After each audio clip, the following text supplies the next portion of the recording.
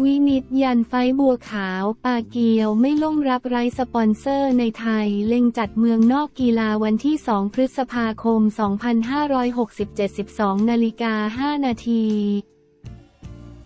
บัวขาวปาเกียว ความเคลื่อนไหวของมวยไฟต์หยุดโลก The Match of Legends ในกติกามวยสากลกำหนดชก 6 ยกระหว่างแมนนี่ ปาเกียว ยอดนักมวยชาวฟิลิปปินส์และเป็นอดีตแชมป์โลก 8 รุ่นปะทะบัวขาวบัญชาเมฆนักสู้ขวัญใจชาวไทยกำหนดขึ้นสังเวียนในวันที่ 20 เมษายนนี้ที่ Impact Arena เมืองทองธานี แต่ถูกเลื่อนไปแบบไม่มีกำหนดเนื่องจากความไม่พร้อมในบางประการ ล่าสุด เสียวินิตนายวินิตเลิศรัตนชัย ประธานเจ้าหน้าที่บริหารบริษัท Fresh Air Festival จำกัด ผู้จัดการแข่งขันมวยไฟหยุดโลก The Match of Legends เปิดเผยผ่านเพจบีบางปะกงบีบางคปากองยืนยันว่าไฟหยุดโลกระหว่างบัวขาวบัญชาเมฆ vs แมนนี่ปาเกียวในครั้งนี้ยังไงก็ต้องจัดดวลสังเวียนขึ้นให้ได้ภายในปี 2024 นี้ แต่อาจเปลี่ยนแผนไม่จัดขึ้นในประเทศไทยแล้ว นายวินิตกล่าวอีกว่า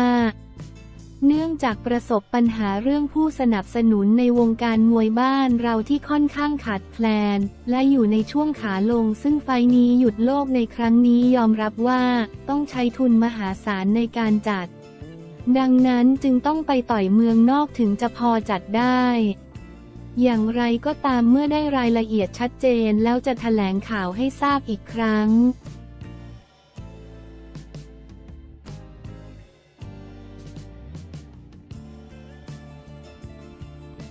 จัดการสอนรามเปิดใจนุ่นดำดงลาออกไปใช้เงินลั่นไม่มีนุ่นสอนรามน้ำเพชรก็อยู่ได้บันเทิงวันที่ 2 พฤษภาคม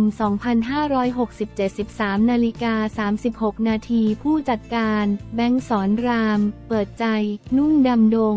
ลาออกไปใช้เงินลั่น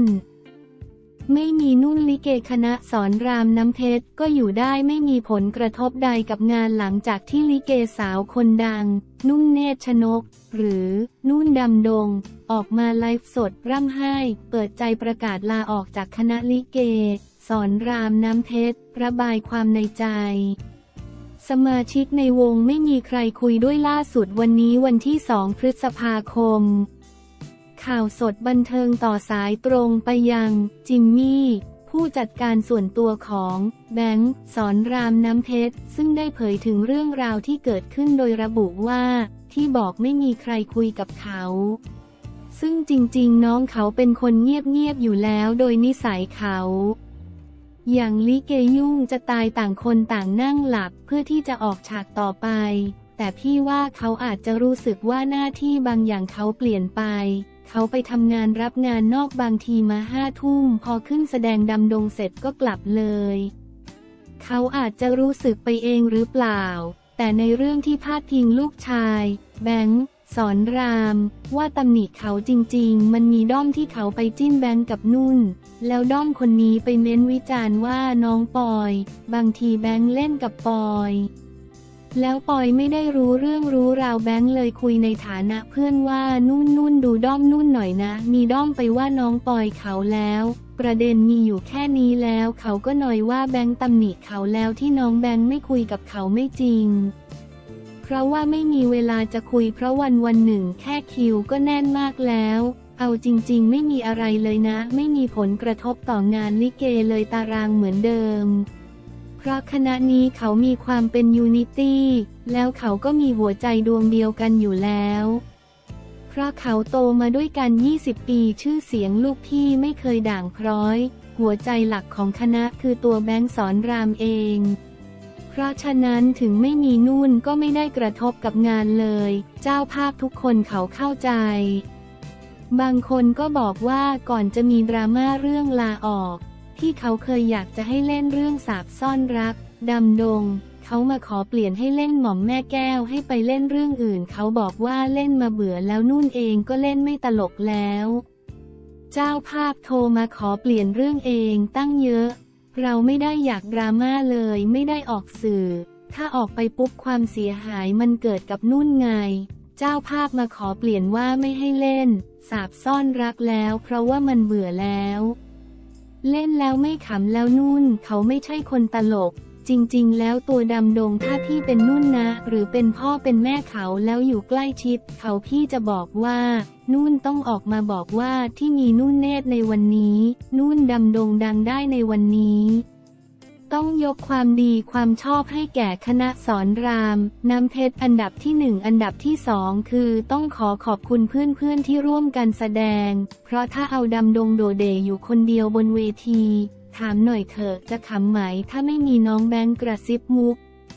ถ้าไม่มีเบลคอยขยี้มุกก็คือเป็นทีม แต่เขาไม่ได้คิดตรงจุดจุดนี้ ถ้าเขาคิดถึงจุดจุดนี้แล้วพูดแบบนี้นะ โคตรน่ารักแล้วเขาก็จะไม่มีวันนี้ แต่พี่คิดในแง่ดีก็คือว่าเขาอาจจะอยากไปใช้ชีวิตแล้วก็ใช้เงินก็ได้เพราะตอนนี้เงินเยอะแล้วไงไม่ต้องซีเรียสอะไรเลยนุ่นเนตลาออกไปใช้เงินจบ เพราะรีวิวเยอะเหลือเกินลาออกไปใช้เงินบ้าง คนเราทำงานมาก็ต้องใช้เงินปากก็ต้องซื้อความสุขให้ตัวเองบ้าง จริง ๆ นุ่นไม่ต้องมานั่งดราม่าเลยลาออกมาพักค่ะ ใช้เงินจบๆ ไม่มีประเด็นอะไรเลยค่ะ วันที่นุ่นเดินไปลาออกเป็นยังไง เขาไม่เคยเดินไปลาออกเลย เขาใช้วิธีไลน์แล้วก็โทรไปบอกแม่แก้ว ซึ่งการโทรไปบอกแม่แก้ว ก็น่าจะโทรหลังจากที่ไลฟ์บอกแฟนคลับแล้วด้วยว่าลาออก ซึ่งแม่แก้วอยู่งานศพ นุ่นก็โทรมาแม่แก้ว ท่านก็เป็นผู้ใหญ่ที่น่ารักมาก ที่ได้คุยกับแม่แก้วแล้วสนิทกันอยู่แล้ว เลยบอกอ้าว มันเป็นอย่างนี้หรอแม่แม่บอกเออมันคงเหนื่อยแหละ ลูกนุ่นโทรมาบอกแม่ว่า ป้าแก้วหนูขอหยุดไม่ได้มาเล่นแล้ว รู้ไหมว่าแม่แก้วตอบไปว่า ไปดีนะ ลูกขอให้โชคดี แม่แก้วก็อวยพรน้องนุ่นไปในฐานะผู้ใหญ่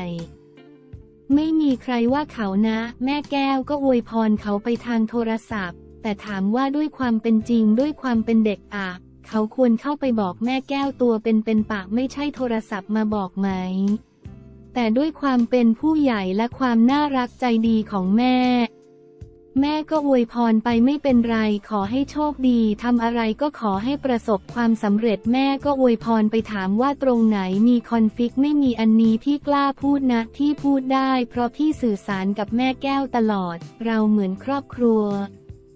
แล้วก็ไม่มีผลกระทบกับงานใด ๆ ฝากบอกเลยว่าต่อให้ไม่มีนู่นเนตรอยู่ก็ไม่ได้กระทบอะไรกับงานคณะสอนราม เพราะหัวใจคณะยังอยู่ตลอดไปคือน้องแบงค์สอนรามแล้วก็ไม่ได้มีประเด็นทะเลาะอะไรกันเลย จริง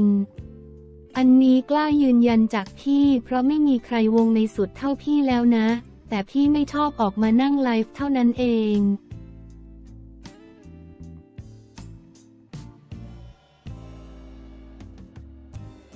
บงค์สอนรามเคลื่อนไหวแล้วหลังดราม่านุ่นดำดงลาออกเตรียมเซอร์ไพรส์บันเทิงวันที่ 2 พฤษภาคม 2567 17นาฬิกา46 นาทีแบงค์ศรราม เคลื่อนไหวแล้วหลังดราม่านุ่นดำดง ลาออกเตรียมเซอร์ไพรส์วันที่ 2 พฤษภาคม 67 หลังจากที่ลิเกสาวคนดัง นุ่นเนตรชนก หรือนุ่นดำดง ออกมาไลฟ์สด ร่ำไห้ประกาศลาออกจากคณะลิเก สอนรามน้ำเพชร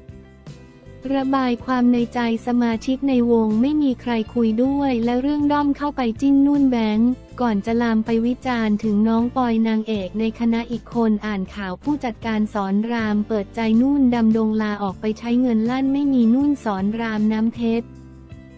ก็อยู่ได้ ต่อมา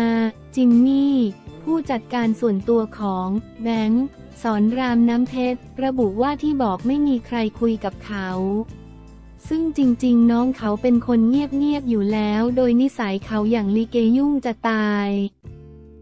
ต่างคนต่างนั่งหลับเพื่อที่จะออกฉากต่อไป แต่พี่ว่าเขาอาจจะรู้สึกว่าหน้าที่บางอย่างเขาเปลี่ยนไป เขาไปทำงานรับงานนอกบางทีมาห้าทุ่มพอขึ้นแสดงดำดงเสร็จก็กลับเลย เขาอาจจะรู้สึกไปเองหรือเปล่า แต่ในเรื่องที่พาดพิงลูกชาย แบงค์สอนราม ว่าตำหนิเขาจริงๆ มันมีด้อมที่เขาไปจิ้นแบงก์กับนุ่น แล้วด้อมคนนี้ไปเม้นวิจารณ์ว่าน้องปอย บางทีแบงก์เล่นกับปอย แล้วปอยไม่ได้รู้เรื่องรู้ราว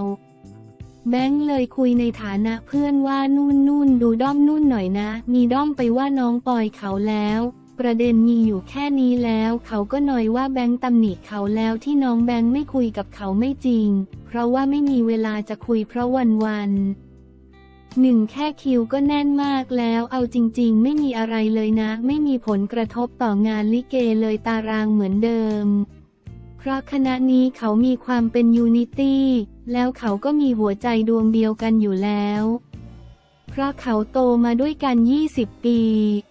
ชื่อเสียงลูกพี่ไม่เคยด่างพร้อย หัวใจหลักของคณะคือตัวแบงค์ศรรามเอง เพราะฉะนั้นถึงไม่มีนุ่นก็ไม่ได้กระทบกับงานเลยล่าสุดแบงค์ศรรามได้โพสต์ใน Facebook ศรรามอเนกลาภ ระบุว่า วันที่ 7 พฤษภาคมนี้ แบงค์ขอเชิญแฟนคลับทุกท่านมาเจอแบงค์ที่ Marché ทองหล่อเวลา 13.00 นะครับ ใครมารับรองว่ามีเซอร์ไพรส์เรียนเชิญพี่พี่สื่อทุกสำนักข่าวด้วยครับ อยากรู้อะไรมาคุยกันวันที่ 7 นะครับ เครื่องหมายสี่เหลี่ยมด้อมเด็กวัดเสียงหวาน เครื่องหมายสี่เหลี่ยมแบงค์ศรราม X Lottery Plus